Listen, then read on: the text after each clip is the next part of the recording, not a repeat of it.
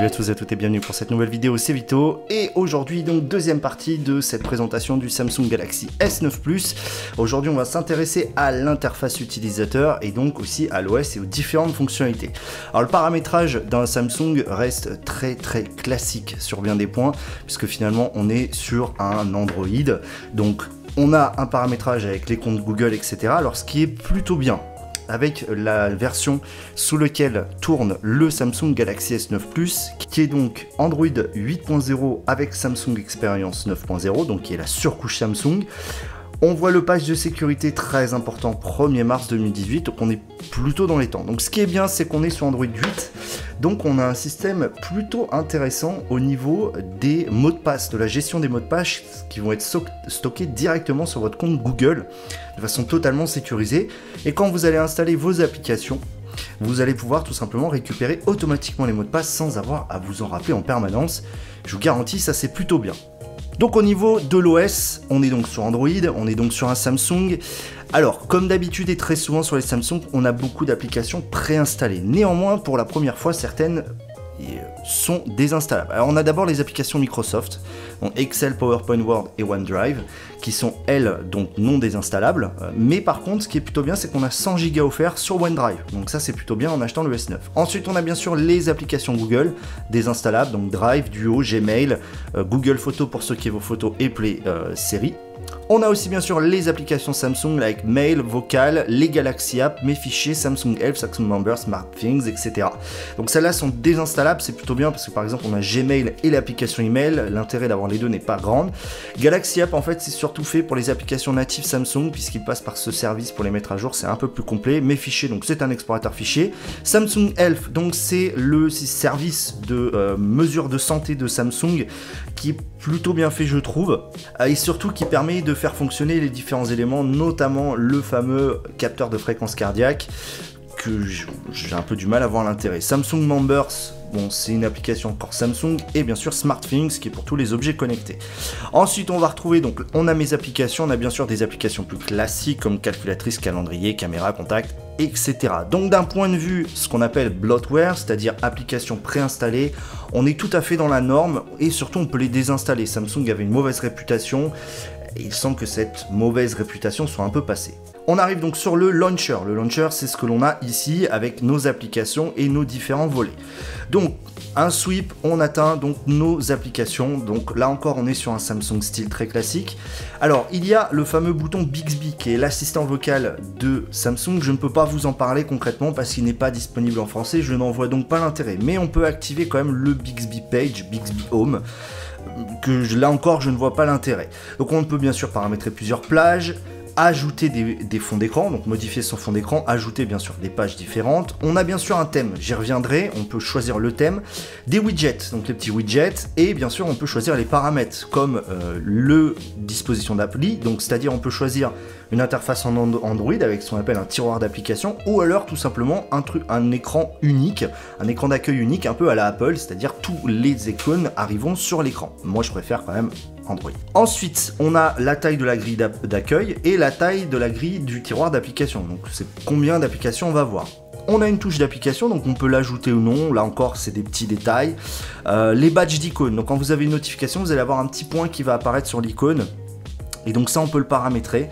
Euh, donc soit le numéro, soit sans numéro. Ça c'est bien. Euh, moi c'est une des choses qui me manquait chez Android par rapport à Apple. Ouverture rapide des volets de raccourcis, etc. Donc les paramètres sont assez basiques. Une autre chose plutôt pas mal quand on a un grand écran comme ça, c'est qu'aller chercher le tiroir de notification quand on l'a en main peut être compliqué. Là il suffit de faire un sweep au milieu de l'écran et ça apparaît une deuxième fois. On a toutes les icônes. Donc j'y viens justement aux icônes. Elles sont bien sûr, on peut les réorganiser, on peut en enlever par exemple. Ça c'est plutôt intéressant. Donc là, ce que j'aime bien sur la nouvelle version d'Android, Oreo, c'est qu'un seul tap permet de passer à une autre fonction. Donc ça, c'est plutôt intéressant. On a bien sûr tous les toggles classiques, mode performance, filtre entrée numéro 2, etc. On va maintenant passer donc aux paramètres. Le problème de ce Samsung S9, c'est qu'il me faudrait quasiment 20 minutes pour vous parler de toutes les fonctionnalités qu'il y a de disponibles à l'intérieur.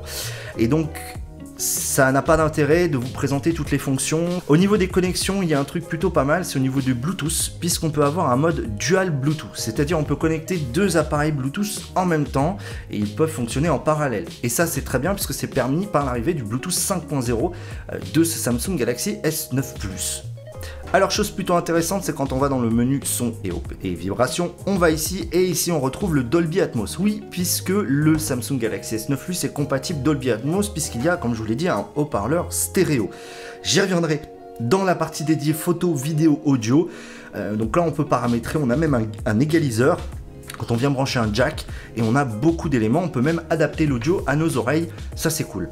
Ensuite, chose très intéressante, le filtre de lumière bleue, le soir, je vous conseille de l'activer. En gros, ça va un petit peu réchauffer votre écran, qu'il soit moins bleu, et on peut le programmer quand on veut, ça évite de casser les yeux.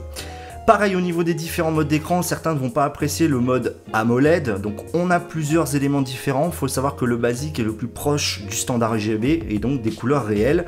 Donc moi je vous le conseille, même si c'est vrai que l'adaptatif est plutôt intéressant puisqu'il est très valorisant à l'œil.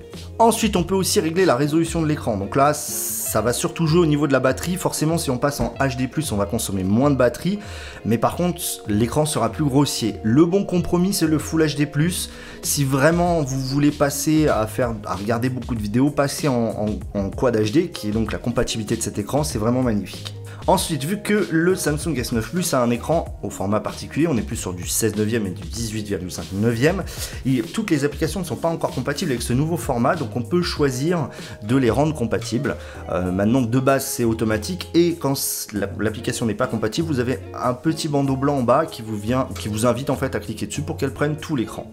La barre de navigation, donc on peut régler pas mal de choses, on peut choisir de la masquer, on peut choisir différentes couleurs, on a le niveau d'appui du bouton Home puisque quand l'écran est éteint, c'est un bouton 3D Touch en fait un petit peu comme Apple. Ensuite, on a la disposition des touches. Donc, les fans de Samsung vont choisir cette disposition-là et les fans d'Android Stock vont choisir cette disposition-là. Chacun, il y en a pour tous les goûts. Bien sûr, on va parler du Always On Display, donc qui est, vous le savez, le fameux mode écran éteint. On va avoir donc quelque chose qui apparaît. Alors c'est très difficilement visible, voilà. Donc le Always Display. Alors, il est, c'est très intéressant ce système puisque ça permet d'avoir l'heure en permanence. Euh, maintenant, pour être tout à fait honnête, je ne suis pas fan du tout, notamment du fait que ça a tendance à consommer pas mal de batterie. Euh, ce qui est vraiment dommage. D'autant plus qu'il y a des systèmes plus pratiques, je trouve, qui se font avec une action de soulever du téléphone et qui, pour le coup, euh, ne vont pas pomper toute la batterie. Je trouve ça un petit peu dommage. Euh, maintenant, voilà, c'est une des propriétés des Samsung. On va donc maintenant passer à un des éléments très intéressants des Samsung, c'est le fameux theme engine qu'il y a euh, dedans. C'est-à-dire qu'on va pouvoir choisir des thèmes variés personnaliser vraiment de fond en comble son expérience. Ça marche plutôt bien, on va avoir les icônes qui se personnalisent, le thème des différents toggles, etc. C'est vraiment pas mal. Certains sont gratuits, d'autres sont payants. Il y a bien sûr des packs d'icônes, des éléments pour le Always On Display, des fonds d'écran, etc. Donc on peut vraiment personnaliser le Samsung, notre Samsung à notre guise. Ça, c'est un des points positifs. Ensuite, on a le mode avancé. Alors là, on a pas mal de fonctions, encore une fois. Euh, la fonction bien sûr qui est la plus intéressante, c'est le fameux multifenêtre. C'est-à-dire que par exemple, euh, je suis ici, je vais du coin en haut et je peux réduire en fait, un petit peu comme sur votre ordinateur finalement. Et donc je peux venir avoir une petite fenêtre et donc continuer à faire mes différents éléments. Ça je trouve ça plutôt pas mal. On peut bien sûr scinder l'écran, on peut faire plein plein de choses. Euh, au niveau justement du multitâche, je trouve que les Samsung ont toujours été des références, surtout avec un écran de cette taille là. Euh, c'est pas désagréable. Ensuite, on a un centre de maintenance de l'appareil qui vous dit dans quel état est votre appareil, que ce soit au niveau de la batterie, des performances, du stockage, de la mémoire et de la protection. Euh, donc là encore, on le rappelle, on a 64 Go de stockage interne avec 6 Go de RAM. Donc on est quand même relativement tranquille. On a bien sûr un slot micro SD. On est tranquille, surtout avec le processeur qu'il y a dedans, donc qui est un processeur de chez Samsung directement. J'en viendrai aux performances un peu plus tard, mais là encore ça tourne toujours très bien et c'est plutôt intéressant d'avoir ce centre de maintenance qui va vous permettre de vider le cache et d'éviter d'encombrer votre mémoire interne. On passe maintenant à une partie très intéressante qui est donc la sécurité. C'est très important, notamment les systèmes de déverrouillage. Donc on retrouve bien sûr dans cette dans, ce menu euh, le Always On Display, mais ce qui nous intéresse c'est ici. Donc on a beaucoup de façons de déverrouiller son smartphone. On a bien sûr le classique code PIN, hein, qui fonctionne toujours très bien, ou le schéma. Mais on va avoir plusieurs éléments. On va commencer par le capteur d'empreinte. Donc c'est plus classique. C'était une des grandes critiques des euh, précédents Samsung S8, puisque le capteur d'empreinte était placé à ce niveau-là, qui est une position pas pratique du tout. Vous voyez, moi j'ai quand même une très grande main, et j'avais quand même du mal, puisque ça demande une position un petit peu anti-naturelle. On va avoir tendance à sortir le téléphone de notre poche comme ça, donc soit on vient déverrouiller avec euh, le pouce pour le scanner d'empreinte à l'avant, soit on va venir déverrouiller à peu près, et eh oui, à peu près à ce niveau-là. Et c'est bien des problèmes. Alors, certes, c'est mieux placé ici que ici, mais ça n'empêche que je trouve que le scanner d'empreinte reste un peu bas et en tout cas pour moi n'a pas une position idéale comme ça pourrait l'être par exemple sur mon OnePlus où finalement j'ai juste, je le trouve parfaitement. D'ailleurs, je trouve quand même que la ce format un peu bizarre de scanner d'empreinte euh, j'ai vraiment du mal en fait, bizarrement à le trouver. Sur le OnePlus, j'ai beaucoup moins de mal. Euh, je vais le prendre comme ça et, il va venir naturellement. Sur le Samsung, c'est beaucoup moins naturel. J'ai un peu, voilà, je, le prends et, j'ai toujours tendance, c'est vraiment bizarre. J'arrive pas à l'expliquer. Euh, j'ai plus de difficultés à le trouver. J'ai une position de tête un peu moins naturelle pour aller le chercher. Par contre, il est très rapide, très fiable. beaucoup plus d'ailleurs que le Note 8 que j'avais précédemment. Donc ça, c'est bien. On a bien sûr le scanner d'iris. Malheureusement, le scanner d'iris, quand on a des lunettes, ça fonctionne pas super bien. Je trouve ça dommage. Et la reconnaissance faciale. Donc la reconnaissance faciale va détecter votre visage en 2D. Alors attention, on n'est pas sur le système de chez Apple, le fameux Face ID, mais ça fonctionne très très bien. Et surtout l'élément le plus intéressant, c'est l'analyse intelligente qui va combiner un petit peu euh, les différents éléments, euh, notamment la reconnaissance faciale et le scanner d'iris. Donc ce qui fait qu'en fait on peut avoir tous les systèmes de déverrouillage fonctionnant en même temps. Vous le prenez de votre poche, vous avez le scanner d'empreinte sous la main, vous déverrouillez avec le scanner d'empreinte. Si vous êtes dans voiture, vous appuyez sur le bouton Home, vous déverrouillez avec le euh, détection visage. Donc ça c'est vraiment bien, euh, ça permet vraiment de coupler tout. Maintenant encore une fois, il y a le choix, vous prenez ce qui vous convient. Donc vous l'aurez compris, le Samsung Galaxy S9 Plus est blindé de fonctionnalités.